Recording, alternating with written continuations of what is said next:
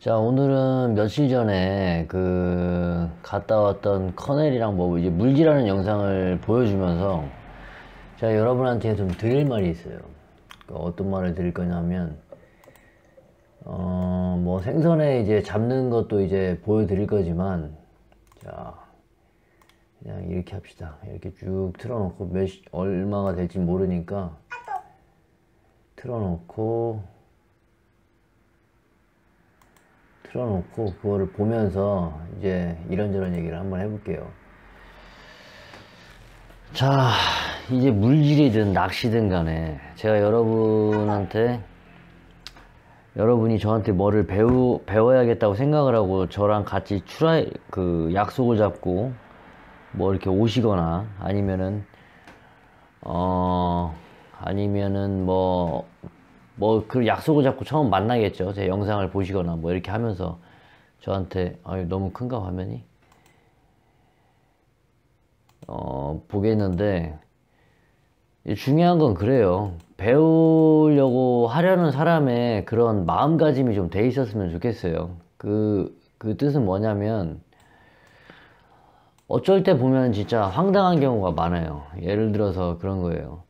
분명히 제가 7시까지 보자고 했는데, 7시 뭐 5분, 10분. 별거 아닌 것 같죠. 5분, 10분 늦게 오면은 뭐 5분, 10분 일찍 일어나면 되지. 왜 늦게 와갖고. 저희는 안 기다려요. 그 기다리고 그 사람 때문에 내가 왜 시간을 기다려야 되는지 제가 여러분한테 돈 받고 지금 가르쳐 드린 건 아니잖아요. 그죠? 그러면 배우려고는 최소한 일찍 오셔야지. 그리고 또 그런 게 있어요. 끝날 때쯤 되면 제가 생선 가져가는 건 없죠.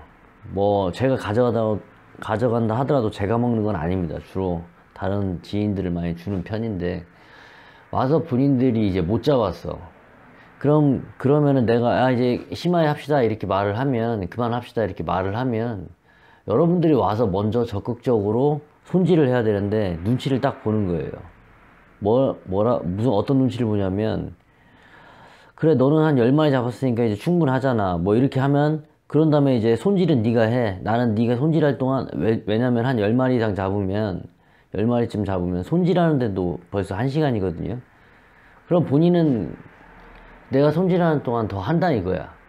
그러면서 손질을 다 했으면 그때 주는 생선을 받아가면 제가 그 사람이랑 다녀야 됩니까? 나한테 뭘 배우고 생선을 얻어가려는데 음료수랑 뭐 이런 거 안 사온다고 그래도 좋아. 오케이. 그러면 와서 손질이라도 하던가 미리미리 그런 걸 해야지. 응? 이런 게 이제 문제인 거고 또 하나 더. 워낙 어릴 주변에 그 사기꾼들이 좀 많아서 그런지 안 믿어요 제 말을. 예를 들어서 여기가 좋은 포인트입니다. 여기서 하세요 하면은 거기서 하면 돼요 그냥. 저는 여러분들 주변에 있는 사기꾼들은 가자마자 여러분한테 젖 같은 장소를 소개시켜주고 자기는 제일 좋은 장소에서 릴렉스하게 하는지 몰라도 저는 안 그래요. 나를 믿고 왔으면 일단은 내가 여러분한테 고기를 많이 잡아주는 것도 첫 번째고 제일 좋은 장소에서 여러분이 나를 믿고 비슷한 채비로 했을 때 여러분도 손맛을 좀 봐야 될 거 아니야. 입질을 받아야 될 거 아니야. 안 그래요? 그래서 저는 제일 좋고 입질 받을 수 있는 장소를 여러분한테 알려주는 거예요. 근데 여러분은 그걸 안 믿어. 나는 그렇게 하게 되면 그 두 번째 잘 나오는 장소에서 잡을 거 아니에요. 그 만약에 뭐 마르브라를 갔다 오면 마르브라에서 가장 핫포인트, 가장 지금 상황에서 가장 잘 나오는 장소를 여러분한테 초보자들한테 여기 있으라고 권유를 해드려요. 그런 다음에 어지간히 잡은 다음에 저는 빠진단 말이에요. 근데 여러분들이 생각할 때는 그걸 갖다가 아 여기 쓰세요 하고 제가 한번 보여줘요. 잡 여기에 고기가 있는지 없는지를 확실히 걸어서 보여준단 말이에요. 근데 그거를 믿으시는 분들은 거기서 쭉 하시는 분이 있는데 그걸 못 믿고 불안하고 다른 생각하시는 분들은 아 뭐라고 해야 되나 내가 저쪽 가서 잡으면 슬금슬금 와 글로 그래서 거기서 내 옆에서 뭘 해보려고 그래 그럼 나는 그게 또 방해가 되거든. 왜 그러냐면 이 무리를 지어 다니는 생선은 캐스팅 하나 뭐 이런 약간의 뭐 이런 것도 캐스팅도 무리가 있는 곳으로 저는 바로 안 던진다고 했어요 분명히. 제가 던지는 곳에서 파도나 조류를 태워서 먹이가 있음직한 곳까지 흘러가도록 유도를 하는 거예요. 근데 여러분은 초보자들은 그걸 모르기 때문에 고기가 있는 곳에서 바로 캐스팅을 해버려요 그러면 파도가 세다 한, 한 세지만 착수음이라고 있죠. 찌가 떨어지면서 텀펑거리는 거, 그 소리. 그것 때문에 그 파장으로 인해서 고기가 또 흩어질 수도 있는 거잖아요. 흩어질 수도 있는 거란 말이에요. 그런 상황 때문에 나를 또 방해해. 그럼 내가, 어, 그럼 여기서 하세요. 하고 또 옮겨. 또 따라와. 어쩌자는 거예요, 지금. 나, 나랑. 나를 방해하는 게 목적이에요, 그날은? 그렇게 해서 못 잡으면 한다는 소리가 뭔 줄 알아? 아, 오늘은 많이 못 잡으셨네요. 너 때문에 못 잡았어. 너 때문에. 너 때문에 못 잡았다고. 제가 여러분, 제가 보통 혼자 가면 10마리를 잡죠. 근데 여러분이랑 같이 가게 되면 10마리를 못 잡는 경우는 내가 가장 좋은 장소를 여러분한테 양보를 했기 때문에 그래요. 그걸 모르는 사람들이 너무 많아. 난 그래서, 아, 이 사람들이 이게, 아, 주변에 사기꾼들밖에 없어서 그런가? 한편으로는 인간 좀 불쌍해 보이기도 해요. 한편으로는 그런 모습들이. 이게 이제 세 번째고, 낚시도 마찬, 낚시 쪽도 그렇지만, 물질도 마찬가지예요. 수준이 되지 않는 상황에서 쓸 수 있는 자리가 있고, 설 수 없는 자리가 있어요. 캐스팅 뿐만이 아니라, 쓸 수 있는 자리가 있고, 쓸 수 없는 자리가 있어요. 그리고 또, 물질도 이철수를 할 수 있는 지, 자리가 있고 이철수를 할 수 없는 그 지역이 있어요. 본인 수준에는. 그러면 내 말을 믿고 저쪽으로 가야 되는데 내 말을 안 믿어. 안 믿고 굳이 따라와. 그리고 거기서 뒤질 뻔 했대야. 뒤질 뻔 했다고 하면서 나한테 투덜거려. 어쩌라고. 내가 절로 가라고 했잖아. 아 거기 어부부님이 잡으시는 데가 고기가 많으니까 글로 온 거죠. 고기가 많으면 뭐합니까? 잠수 한 3m, 4m도 못 하는데 3, 4m 하면 뭐합니까? 거기서 단 10초, 20초도 못 버티는데 와서 뭐 하자는 거예요 지금? 아니 캐스팅이 안 돼갖고 그 앞에 있는 열을 못 넘기는데 거기 와서 옆에 쓰면 뭐 어쩌자는 거야. 계속 그 턱에 막 걸리면서 씨발 씨발 막 이렇게 거리는 걸 나한테 막 드러나는 식으로 그렇게 말하면 뭐 어쩌자는 거야 나한테 도대체? 정신병자죠. 여러분들이 생각해도. 제가 정신병자입니까? 뭘 배우겠다는 거예요 내가 돈 받았어요 여러분들한테? 안 받았죠 내가 그리고 생산 안 줘요? 근데 왜 그런 정신 상태가 가지고 있냔 말이야. 에? 그런 정신 상태를 가지고 있으면 안 되지. 정상이 아니잖아, 그거는. 에? 그러면 본인 실력을 내가 저쪽 가서 캐스팅 연습을 해라. 하면 거기서 주구장창 캐스팅 연습만 해야지. 시키는 대로 하지도 않으면서. 시키는 대로 하지도 않으면서 잘 되길 바라면은 이상한 거 아니에요? 순서가 있어요. 어지간한 거는 순서가 순서가 아예 없진 않아요. A 다음에 B, B 다음에 C, C 다음에 D예요. 순서가 있어요. 지금도 문어를 찔렀을 때 여기를 보면 이 소라를 갖다가 보호막처럼 이렇게 막는 거죠. 방패같이. 문어는 머리가 상당히 좋아요. 그렇기 때문에 갈고리로 순식간에 낚아채지 않으면은 얘네들이 이렇게 방어를 쫙 이렇게 한다고. 그러면 잡기가 힘들단 말이에요.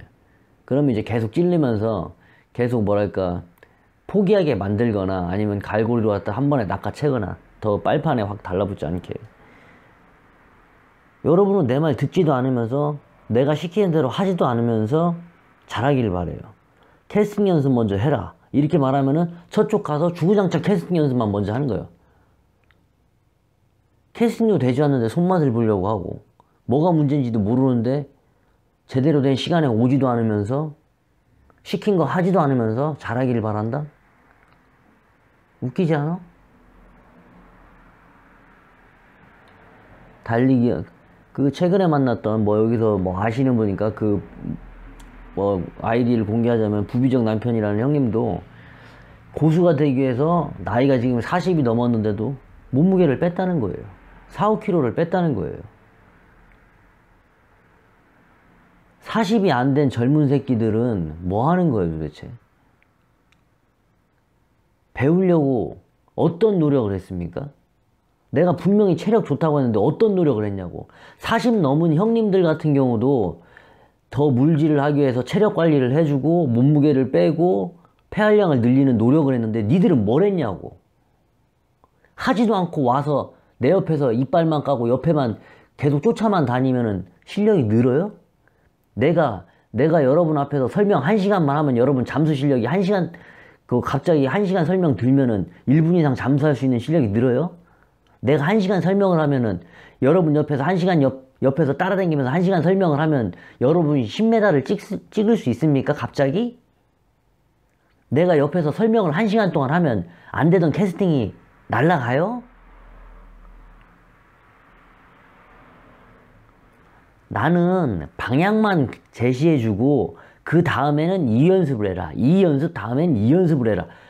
이 순서만 제시해 줄 뿐이지 나머지는 본인의 몸에 익을 정도로는 자기가 practice를 해야 돼요. 연습을. practice를 하셔야 된다고. 어?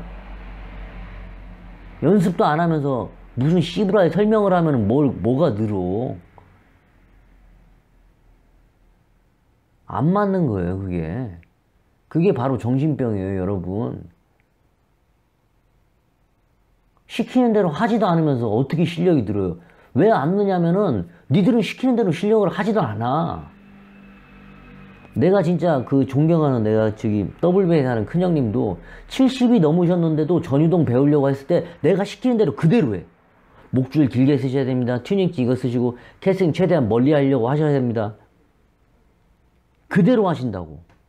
근데 어느 순간부터 내가 그렇게 하셨더니 아 저는 어릴 때 옛날부터 목줄 짧게 쓰는 버릇이 있어갖고 이것도 잘 물던데요. 이지라고 또 목줄 짧게 써 계속. 뭘 배우겠다는 거야 도대체.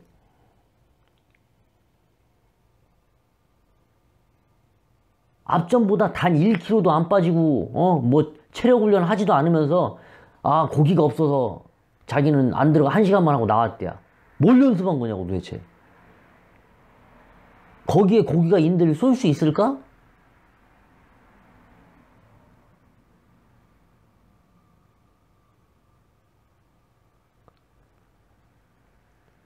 고수라는 사람들이 여러분들을 데리고 갈 때 이 순서도 제시 못 해주는 사람들이 많아요. 예?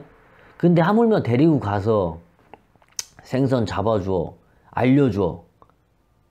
근데 설명을 자기가 원하는 대로 nice하게 하지 않는다고 해서 nice하게 하는 사람들은 대부분 사기꾼이 많죠? 여러분? 내가 사기꾼입니까? 나이스하게 하는 새끼들은 사기꾼이 많다고 내가 분명히 말했어요. 에? 인생을 살면서 여러분한테 이 병신 같은 새끼가 욕하면서 개질하는 사람이 오히려 여러분을 위하는 거지. 아, 뭐, 김 프로님, 이 프로님, 오늘은 뭐 여기서, 아, 역시 프로님의 뭐, 동작이 참 멋있는 것 같아요. 자세가 좀 돼 있는 것 같아요. 뭐. 병신 육갑을 떨구니. 아, 그런 병신들을 좀 꺼졌으면 좋겠어. 아, 쪽팔리니까, 진짜.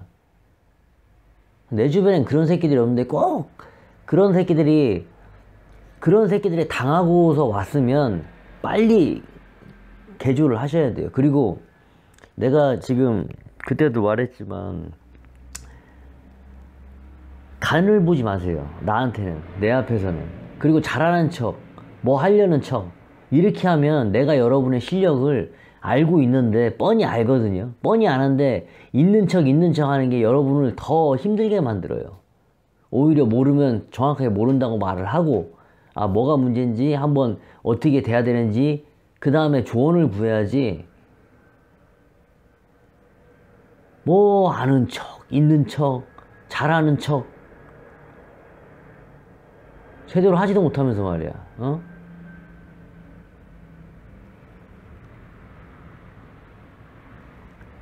그러니까 여러분들은 배우려는 자세가 과연 돼 있는가 이걸 한번 좀 음? 알려드리는 영상이 됐으면 하는 거고 그리고 여러분 바다에 갔을 때 내가 지금 이름을 거론하지 않겠지만 나 내가 만약에 큰 형님이나 우리 저기 관리자급들 되는 사람들한테는 분명히 조언을 구할 겁니다. 근데 그들이 아닌 다른 그 밑에 있는 수준이 되는 사람이 이래라 저래라를 할 거면 오지 마세요. 오지 마시라고. 나가시라고 그렇게 했거든요. 그런 새끼는 내가 원하지 않습니다. 바다를 지가 얼마나 한다고 이래라 저래라 하고 안 걸린다는 둥, 뭐, 어쩐다는 둥, 저쩐다는 둥, 이런 개소리를 하지 마세요. 예? 족밥들은 피처리가 단속을 안 해. 그리고 제가 내장 빼는 것도 걸릴 수 있다고 분명히 말씀드렸어요. 손질하는 곳이 따로 있습니다. 아시겠어요? 그리고 대가리 뛰는 거는 절대 안 돼요. 길이를 거기서 잽니다. 아시겠죠? 무슨 소린가? 그런데 지가 뭘 한다고 저는 피처리에 단속을 한 번도 안 걸렸어요. 여러분, 피처리가 병신이에요? 여러분처럼 다이와 조끼 입고 fishery가 바로 가서 조사를 하는 게 아니에요. 신고받고 딱 가게 되면 fishery가 멀리서 지켜보고 있어요. 잡나 못 잡나. 다이와 조끼 입고 쫙 빼입고 밑밥 치면서 한두 마리 잡으면 검사도 안 해요. 여러분들한텐. 에? 왜? 아니, 한두 마리 잡는 걸 뭘 검사해? 한두 마리 잡는 애들은 가서 fishing license 검사도 안 한다니까? 그런 병신들은? 나처럼 막 몇 분 안 돼서 막, 어? 막 일곱, 여덟 마리씩 막 잡아 버리다 하면 걔네들 무조건 와요, 나한테는. 왜? 멀리서 봐도 잡는 게 보이잖아. 그러니까 나한테 단속하러 온다고. 왜? 라이센스 검사도 하고, 마리수 그것도 제한도 보고, 크기 제한도 볼 수 있지만, 어? 이렇게 세 가지의 그, 그 걸릴 수가 있는 확률이 세 가지잖아. 근데 여러분들한테 가면은 차례야 뭐 고기도 못 잡았는데 라이센스 검사에다가 걸릴 확률이 하나밖에 없는데 떨어지는데 여러분이 만약에 fishery면 누굴 검사하겠냐고. 어? 그러니까 좆밥들한테는 fishery가 안 가는 거예요. 못 잡는 그 좆밥들한텐. 그런데 뭐 안 걸려봤다고? 병신 같은 새끼 지가 좆밥이라고 스스로 말하는 거 그게. 아시겠어요? 무슨 소린가? 족밥이면 피처리가 검사를 안 해요. 족밥인데 왜 검사를 해? 잡지도 않았을 건데. 피처리 걔네들도 단속 하러 다니면 힘들어. 여러 명 단속해야 돼. 근데 그 단속해는 걔네들 걸려야 될 거 아니야. 걸려서 뭔가를 어 실적을 올려야 되는데 아니 잡지도 못하는 새끼한테 가갖고 뭘 검사를 해? 무슨 실적을 올리겠다고? 검사 안 해 그런 새끼들한텐. 근데 나 같은 새끼한테 오면 마리수는 뭐 마리수대로 검사할 수도 있고 그러니까 웅덩이에 내가 분명히 말했어. 10마리, 10개를 놓으면 안 돼. 블랙이든 드라마든 합쳐서. 10개가 잡은 다음에 더 잡고 싶으면 한 마리를 버리고 잡으셔야 돼. 만약에 10개 채워놓고 한 마리 잡았으면 여러분은 걸린 거예요. 아시겠죠? 걸린 거야, 분명히. 웅덩이에 한 마리를 버리고 낚시를 더 하라고 했어. 오케이? 그리고 또,